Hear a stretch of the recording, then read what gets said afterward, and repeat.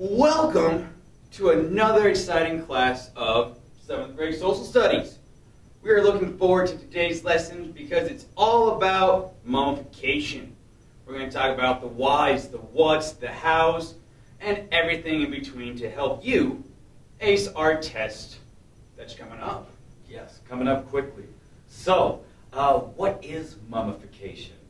Well, first of all, it's an Egyptian method of embalming and treating the body to last in eternity. That's a long time. Like Long, long time. Embalming, just kind of like getting rid of the internal fluids, blood, that type of stuff, to make sure the body doesn't rot. Yeah. So yeah, basically you're removing all the moisture, so it won't decay.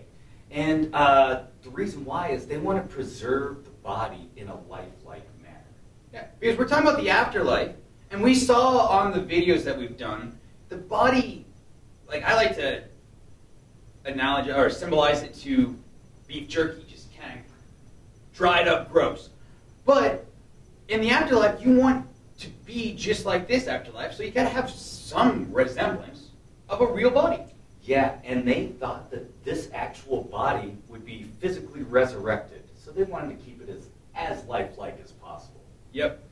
Very close, but over 2,000 years, over 3,000 years of this process, they've done pretty well. Yeah, they developed and perfected the mummification process to the point where we see a 3,000 year old mummy and we can kind of tell what they looked like in life.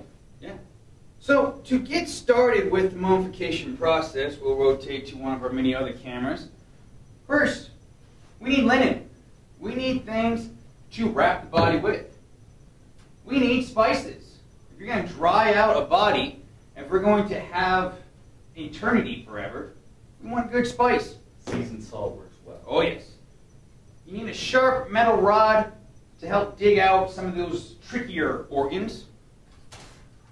Scapula, because when we cut open bodies, a nice sharp knife is definitely going to be better on that. I call it a scalpel. Scalpel.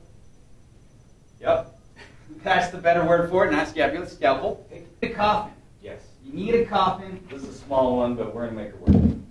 And of course, if we're going to mummify something, you need a dead body. Thank you for volunteering. Yes. Now, as you can see at the different angles, part of this is ripped open, but it would be a whole body. No openings, nothing like that. The biggest thing would probably be a hole for a needle because they drain the fluid from that. Because the internal organs are gross, we're going to become doctors.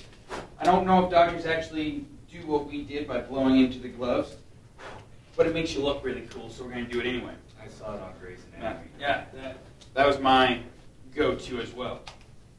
So the first thing they're going to do is get rid of the organ they think is absolutely worthless. What would that be like? Fingernails? Fingernails, that no, actually, they want to get rid of the brain. Oh yeah, the brain. But we're going to check in with our scientific experts here real quick to explain why the brain is actually important in today's world. It's debatable, but let's check with them. As you can see, this is the brain. That, I don't think that was supposed to happen, was that? Probably not. But the the brain, the brain is the the the most important organ in your body. Um, it is the center of your nervous system. Uh, all of the information from the outside world is processed by your brain. It is made up of thousands and thousands of tiny little cells, each communicating with each other at blazing fast speeds. Faster than the school's internet, am I right? Um, your brain, it connects to your spinal cord, which allows the information to travel to the rest of your body. Um, at speeds of approximately 268 miles per hour. I did not know that. Fun fact: a hundred mile an hour fastball travels too fast for your brain to comprehend, and the people who hit it just do it based off of instinct. Ah, that is fun. Muscle memory. Muscle memory. Brain weighs about three pounds. This is part of it. The rest is on the floor. And it was one of the things, as Mr. Langel told you, that the Egyptians took out during the mummification process. I have a question, and this may be a class discussion question. When did people get mum- mummified? At what age, do you think? I don't know. We'll have to ask Mr. Langel. You guys About talk that. about that. Discuss. Because when do you think your brain stops developing? At what that is age? easy. At what good age? points. Very good points. Uh, 23? Nope. 25? 24? Nope. One more? 26? Nope. Well, down one more. 25. 25. So, by the time you are 25, your brain is still developing. So are you saying that these middle schoolers don't know everything? Correct. What? That is what I am saying. No. Have you asked any of them? Hmm. I probably should. We should probably talk about that in class. Back to you, Mr. Langel. Thanks, experts. But the Egyptians disagreed. They did not think the brain was worthwhile at all. One theory I, theory I read was that they thought that the brain just produced mucus. Which makes sense since they go up the nose with their metal tool to just kind of shove it up there and just start digging, digging, digging, and then just pull it out. Oh, that's just a small piece of Small piece, that go. But as you dig, and like I said, it's gonna look weird, in my opinion, because you're just scraping, scraping, scraping until you get all this. Now, this is full brain. Scraping out, you're gonna get like little pieces of it, not actual image.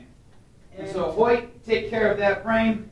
Uh, since it's not important, uh, we got a place where we put stuff that's not very important. Just right there, right in the trash. Which is still makes sense when we think about how the Egyptians think. We'll talk more about the organs later. But also just really weird. Yeah. Very strange. Should we pause for this question, though? Why would they throw the brain out? Yeah. Yeah. Why would they throw that brain out? So, uh, a question for us to ponder. I mean, we're thinking about it now is why would they throw the brain out? Because they really thought it was useless. I guess so. The other organs just played such a bigger value to their lives. Mhm. Which makes sense. But also, brain just for mucus formation, who knows? And knows? also, uh, we've been uh, researching and studying, and it seems like they tied the thoughts in your soul to your heart. So uh, they, they obviously thought the heart was more important. And uh, we're just going to go with what the Egyptians thought were important for the rest of this mummification process. Alright, The next step is to get everything else out. So I take my scalpel, my scalpel, and they would always make a small incision on the left side of the body.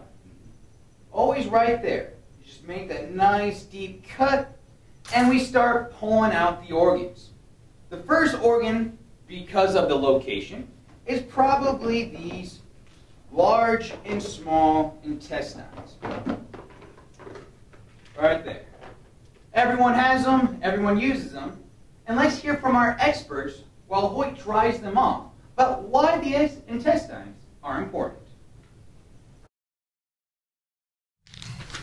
Here we go. The next organ after the stomach is the small intestine. Does it really look that small? No, that's pretty big. Looks, looks, I mean, take a lot of space. If I lean back a bit and squint my eyes, Yeah. kind of. Why do you think it would be called the small intestine? Um, the diameter of the tube. That's a great observation, Mr. McQuiggan. It's great. Failing. Why don't we call it the first intestine? We should. That's a good point. What about Probably be easier. best intestine? How long is it? If I remember correctly, is it approximately five times the height of your body? Um, no, three times. Three times. Three times not the length times. of your body. Three times the height of the length of your body. Which is crazy. That all gets gemmed and fits right in here, right in the so, gut. I think we all can agree that Miss Lee's kind of a short person. So she'd probably have a shorter, smaller intestine than, say, Mr. Langel, who's a giant, really.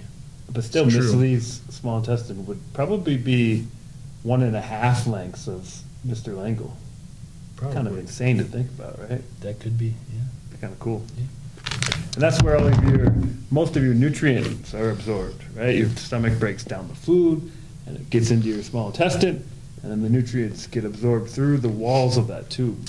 So why does it have to be so long? So that, Why can't it just be short? good question. I'm guessing it's because it's got to break down more, so that you make sure that all your food gets breaking down. Hmm. Is that what you have read? If I remember correctly, I think they talked about. I think they talked about surface area in math class. Oh yeah.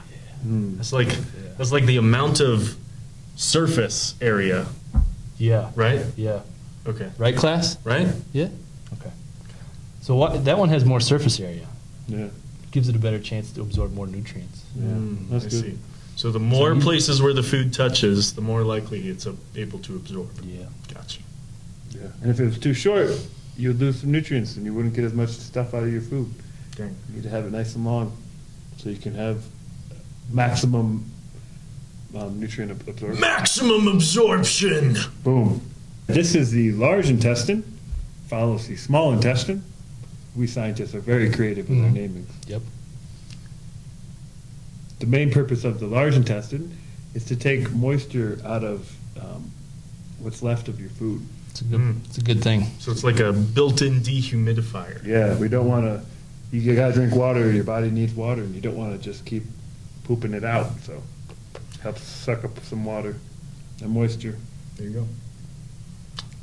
Well, It's much bigger in diameter than the large intestine, the small intestine. Hence the name. Hence the oh my goodness. There it is. sense. I believe it is also shorter. Yeah, it looks a lot shorter. It's shorter. a lot shorter. I think it's approximately five feet. Yeah, five so feet again, long. Miss Lee would probably. She may or may not have a shorter, large intestine. It's probably probably like four and a half. Probably. Yeah, Probably still taller than Mr. Grabowski, though. yeah, Yes. definitely. Yeah. Okay. Last thing I would like to mention, because we talked about this at the beginning of the video, this is the last stop of our basically the journey that our food goes through, which we've been spending a lot of time talking about. What's going to happen after our large intestine absorbs all the water? I think I gotta go find out. Okay. And there we have it. After you eat your food, it's absorbed in the, the nutrients in the large, small intestine, the water out of the, in the large intestine, and then you must use the bathroom. Back to you, Langel. All right. Thanks, experts. The intestines are going to go into the jar that is protected by Quebhafsna. Or, Hoyt, you do it better than I do. I'll try. Uh, Keb Hasnoof. Quebhafsna. Uh, this god is recognizable because he has the head of a falcon. Each of these canopic jars uh, meant to kind of house these important internal organs for eternity or for our passage into the afterlife uh, would have the head of a particular god, one of the four sons of Horus. Now, uh, this particular god, Keb Hasnoof, uh, was a son of Horus that had a falcon head, I believe. Yes, a falcon. And, you know, usually the intestines would be dried out over a long period of time to get that all the moisture out, but we just settled for a quick, you know, Quick little dry down. The next, as we're going through, remember, it's not cut wide open dig. It's a small cut so they can reach in and grab because they want the body as perfect as possible for the afterlife. The next one, we have the stomach.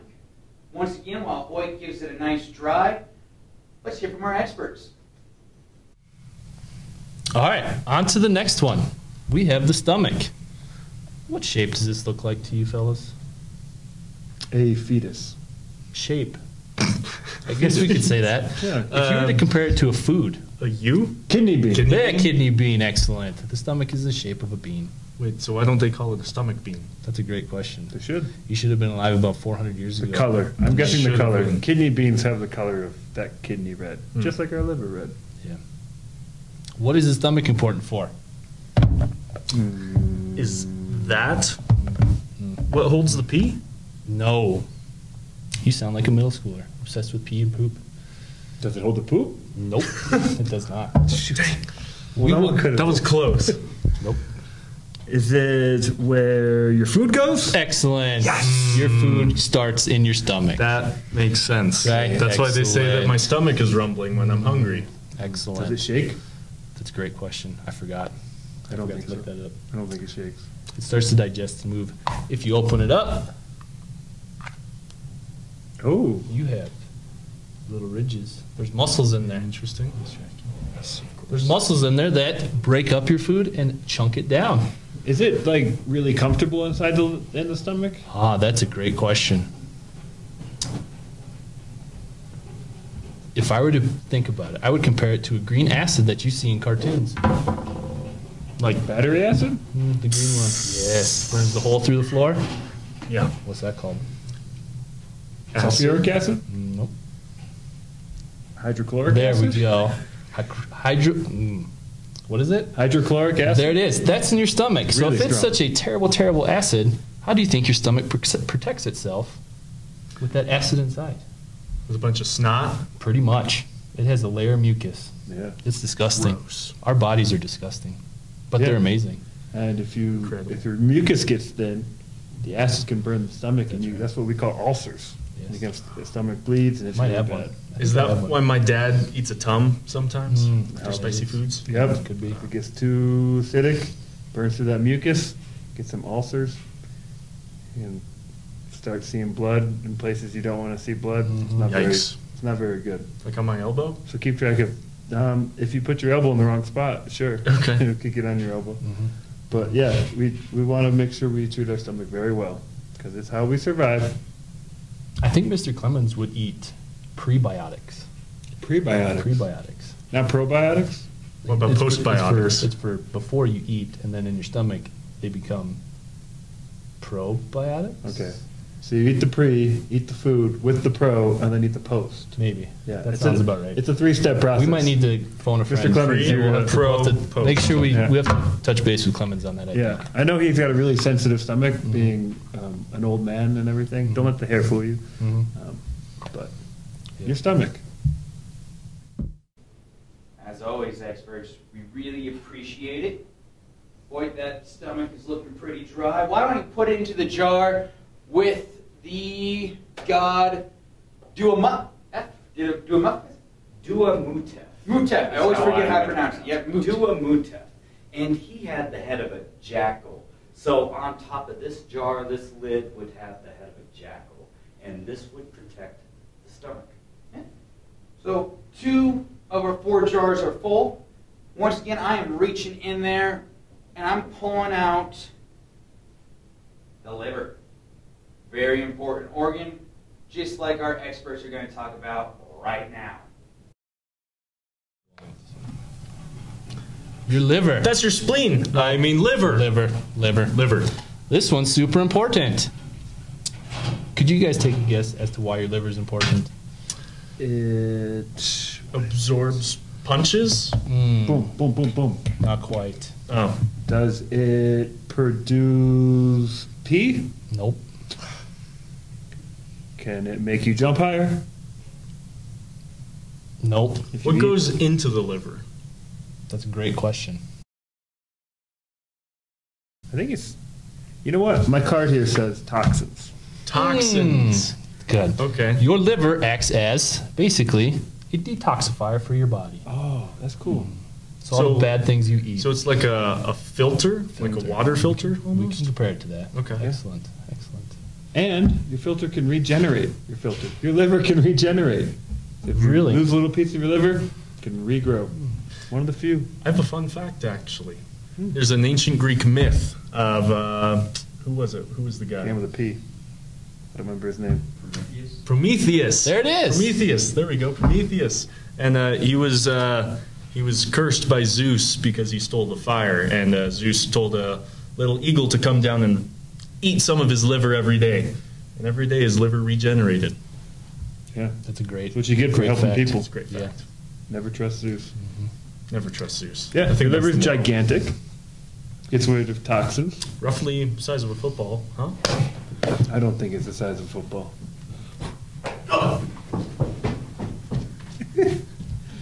Very nice. Touchdown. The last thing is the liver also aids in digestion. it plays a small role. It produces. All right, experts. Once again, we really appreciate your knowledge and letting us learn. This liver, because we love to hear me butcher all these names, goes into the jar with the protection of Imsti. Imstead.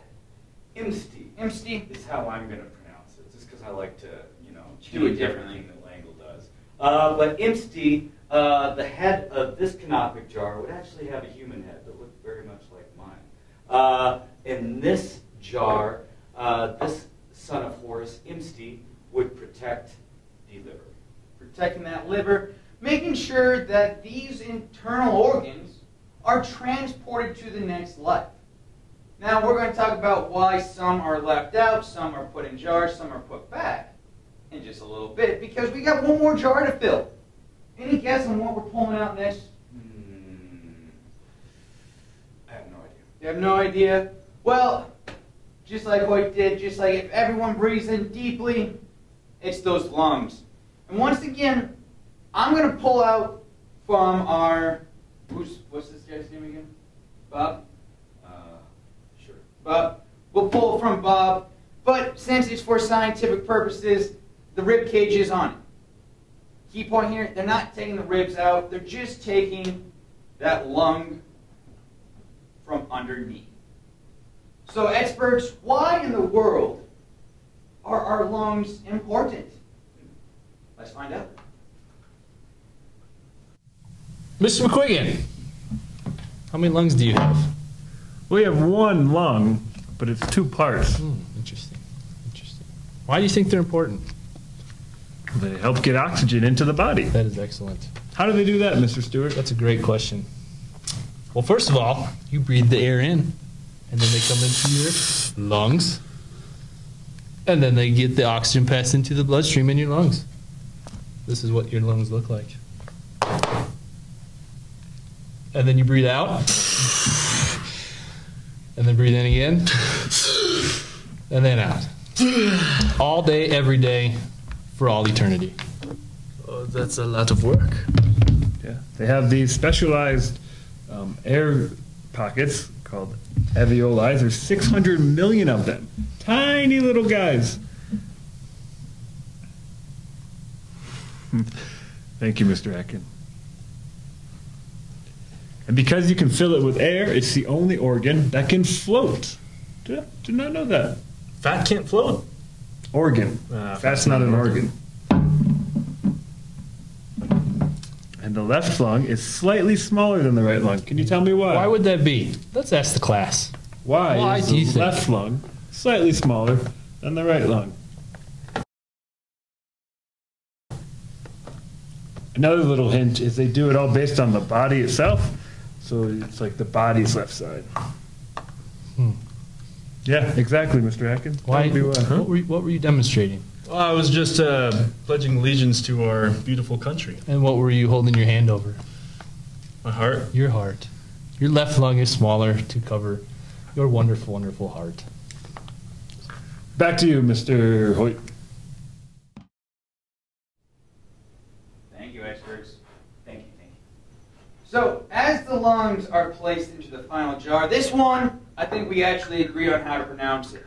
While it's spelled H A P Y, we're going to say it's the god Happy. Happy. So this particular god has the head of a baboon, which I picture him smiling. Uh, so this jar would have the head of a baboon. We put the lungs in there, and uh, the god Happy, the son of Horus, would guard over the lungs uh, in the travels to the afterlife. All right. So we filled the jars with four different organs. You've heard the experts about why those organs are important. So here's our second pause and think about question. Why these? In your opinion, why would we choose these four organs? We've got a lot of different stuff mushed up in all the emirs. So why these? Yeah. Is there anything missing up to this point? So think about it. Pause. One thing that's missing to me is the heart. Oh yeah, the heart. Did, Like- we, skip a step? We haven't skipped a step yet. Because you got to get everything else, especially we're starting at the stomach. All right, let's look at this camera real quick. The stomach's down here. You're starting down, up. Now, of course, the brain is separate because you're not going to reach through the skull. You're going to go through the nose. It's very simple that way. But you're going to take that knife, cut down here, you're going to take everything out. And then that's where the heart is, at the end of the road, basically. And so when I reach in and pull out the heart, it seems like a very important organ. It looks like something that we really, really should care about. But why don't we have a jar for. What are we going to do with the heart? Any thoughts?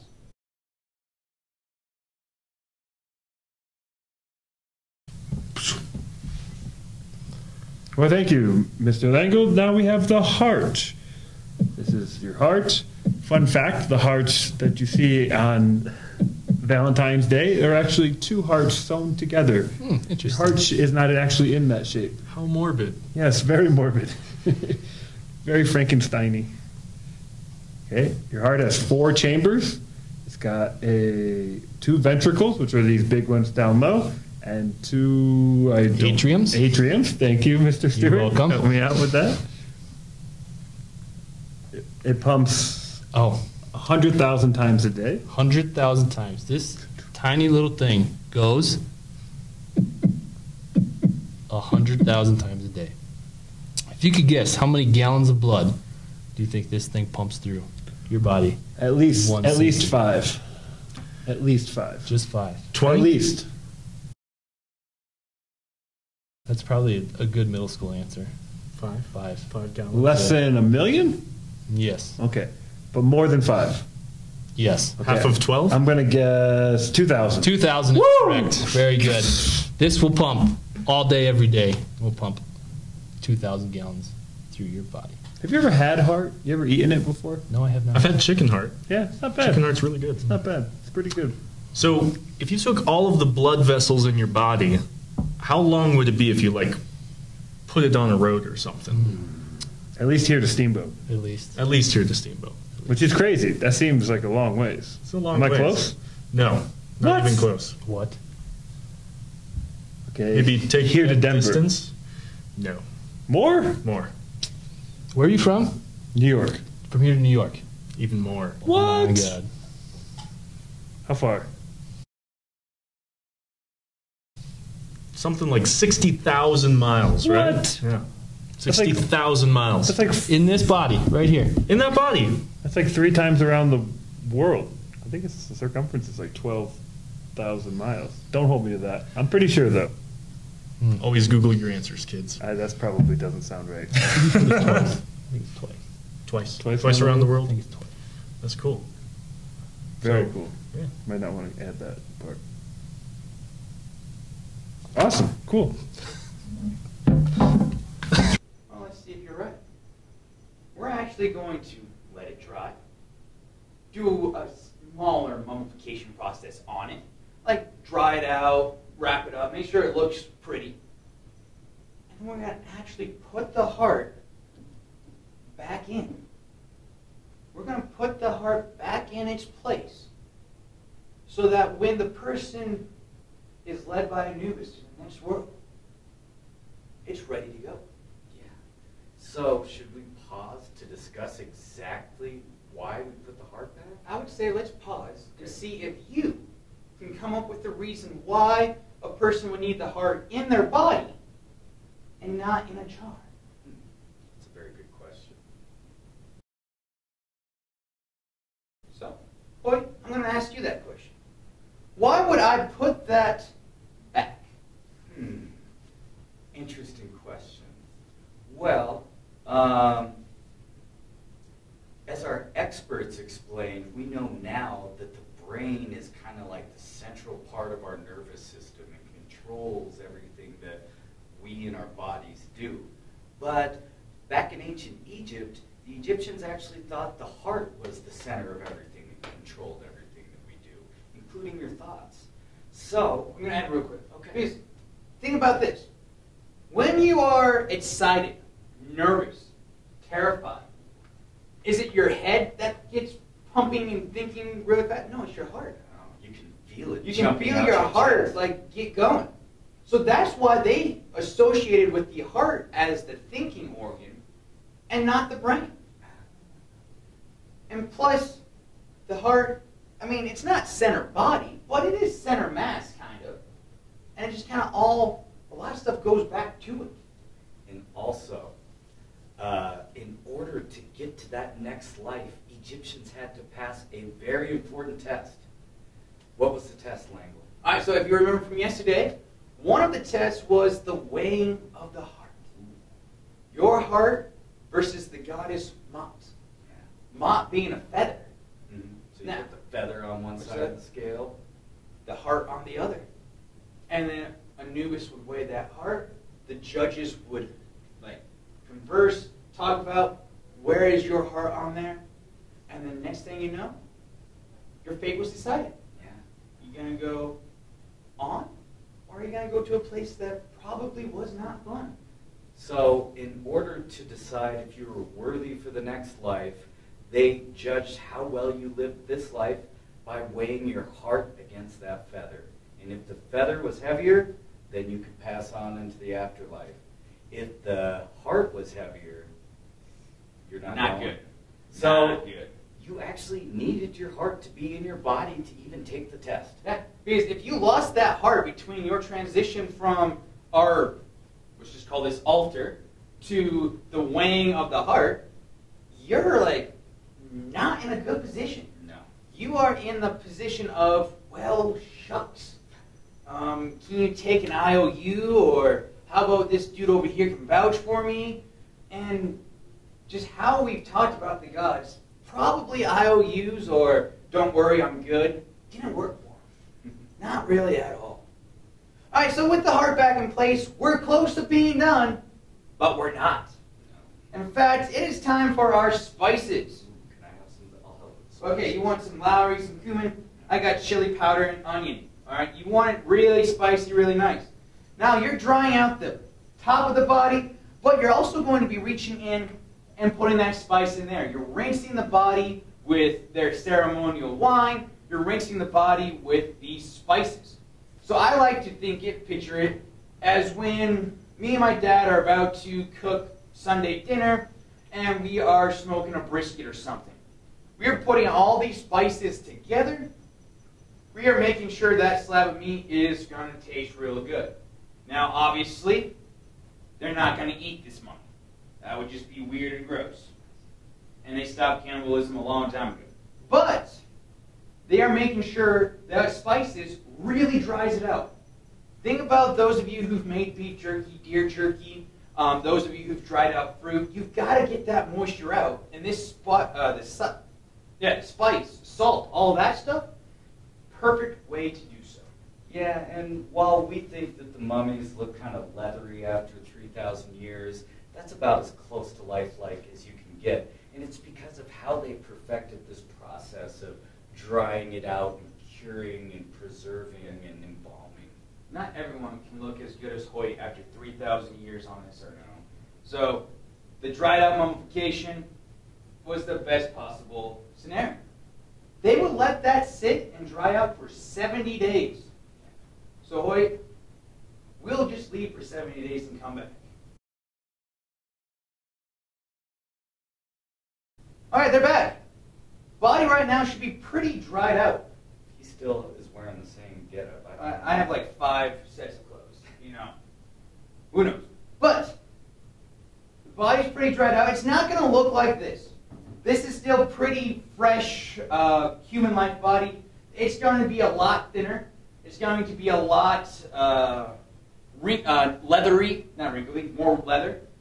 But it's going to be ready for the next step, and that is wrapping it up and putting it into the coffin.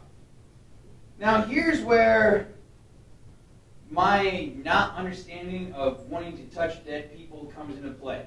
Like, there's some people who want to be morticians, forensic scientists, all that. Not for me. You're going to be up close and personal with this person when you're wrapping them in mummy, aren't you? Absolutely. Like, there's no way you can just wrap it nice and neat. No, you're going to get in there and probably really push this guy around. Luckily, he's dead, so he's not going to fight much back. But to save us issues and trouble, we'll just stand up our volunteer right here. Bob. Bob. Good old Bob. This is all going to be covered with actual human skin. I would have sewn up my uh, cut. The whole head would be shown. And as you can see, Hoyt getting the linens ready. We're just going to start wrapping. We've all done this. We've all seen the minute to win it games. And it's just a process that's going to take a while. We're not experts at this process. This is actually our first mummification. And King Bob here, our good old Egyptian pharaoh, made a mistake of hiring a head priest, this guy, who's actually very cheap and bought like half-ply toilet paper for this job. Uh, their linen would actually be a lot better. It would be more cloth-like than paper-like. They make half ply toilet paper? I Well- single ply was the uh, thin stuff. Well, as you know, the old saying goes, if you use more than one square, you're being wasteful. So jeez. Glad I didn't grow up in that household. We gotta save whatever we can. And they would just wrap and wrap and wrap. Now, Hoyt's doing different methods, different areas. They are probably going to be fairly good professionals. Because you gotta remember, we're not ancient Egyptian priests who know the spells, the rituals, and have practiced this long, long time. We are the people who are teaching you and who call in experts, aka Mr. Stewart, Mr. Atkin, Mr. McQuiggan, we rely on those experts to help us understand the organs, the science part of it. And as you see, Hoyt's now getting into a rhythm. The ancient priests would probably have more than just two middle school teachers doing this. They would have multiple people making sure it was everything perfect. The arms crossed across the chest, kind of doing the Wakanda Forever signal. This is going to if that movie ever goes out of style, this video is not going to make sense. But hopefully, it's a good one. I like it a lot. It is. Um, and then just nice tight wrapping. You can see Hoyt's got some gaps, got some air in it, which for our demonstration today, we'll forgive him for. And as you can see, their toilet paper, aka linen, would not be ripping as easily as ours is. Let's see here, Hoyt. Anything else we should add about mummification? Um, I just want to just uh, kind of point out like the links that they're going to to prepare for the afterlife. Not only are they, uh, you know, paying uh, forward for this whole mummification process, but just preparing their tomb, um, having a place for their tomb, for their body to be put to rest. Uh, their belief in the afterlife was so strong that they were willing to pour a lot of resources and time into ensuring that they would actually get to this next life. Yeah, it was very, very important to them. It was very, it showed the development of ancient Egypt quite a bit. Absolutely. And if you have been paying attention, this kind of sounds like a test question. It does. Who knows? Who knows? Probably. Probably. But, as we finish up, as Hoyt's doing a lovely job of making King Bob ready for the next world, just break it down. Why did they mummify? Why did they use this technique? Because it was their perfect way of drying out that body, preserving it as human-like as possible to go to that afterlife. The jars you see in front of us were used to hold the various gods and goddesses so that they were able to protect those organs. You were able to see that this drying out process allowed the body to not decay, not disappear. It was the way they proved that their pharaoh was ready for the next life. Well, uh, I think it's been the 70 days. We got the linens all wrapped around. We got the organs in the canopic jars. Are we ready to uh, put it in the coffin? Well, that's the last thing to do. So this would be all kind of in the tomb, the pyramid, the final rites. Now, of course, while we're doing this, we would not be talking to you as a student. We were doing rituals, prayers, spells, all that stuff to make sure this body was perfect. We would actually be dressed not like this, believe it or not. They would be dressed like Anubis. They would wear uh, jackal masks. They would wear um, nicer robes, just as a more ceremonial, more perfected, perfected way of life. Yeah, this wasn't magical to them, it was science to them. And this was their way of, uh, you know, uh, going to the next world. And so, King Bub, hopefully you have a good afterlife. Uh, and don't forget to make sure these jars are close by because you're going to need those in the afterlife. See you next time.